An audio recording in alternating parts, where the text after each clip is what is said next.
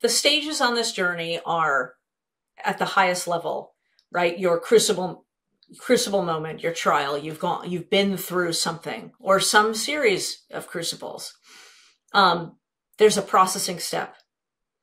Uh, there is a how do you deal how how do you deal with dealing with the fallout from your crucible um, it's really important to know that that you do we all have to deal and that doesn't happen you can't wake up the next day from a from a crucible moment even if it's a minor one you might not be ready to move forward right you may need time and some people need a short time. Some people need a longer time, but that processing step is really critical. Only once we've processed can we then cast a new vision for life and then turn that vision into reality.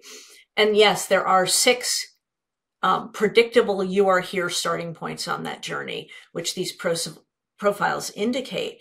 However, because that journey, it's still everybody's journey is unique. We may share starting points, but how long it takes us to move from stage to stage. Sometimes we have to bounce a little bit backward and maybe realize you might start moving ahead and casting a division and realize, ah, oh, there's still some residual stuff I'm dealing with.